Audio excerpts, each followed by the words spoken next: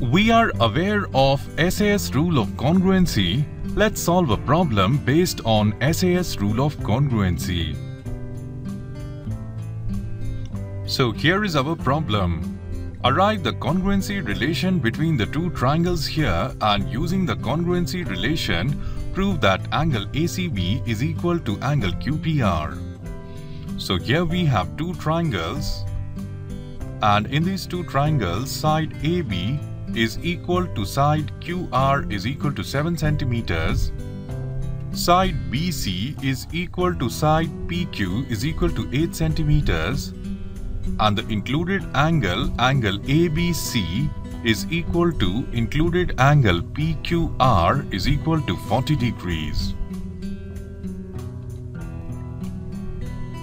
Let's discuss the approach for solving this. For solving this question, first we will look at the given data.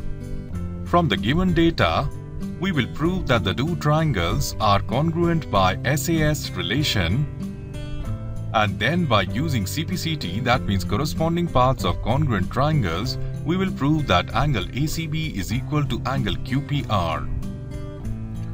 Let's see what is the given data here. Here we are given AB is equal to QR is equal to 7 centimeters BC is equal to PQ is equal to 8 centimeters and angle ABC is given equal to angle PQR is equal to 40 degrees. So here we can see we are given two pairs of sides as equal and the included angle between them is also equal. So by SAS rule we can say that triangle ABC is congruent to triangle RQP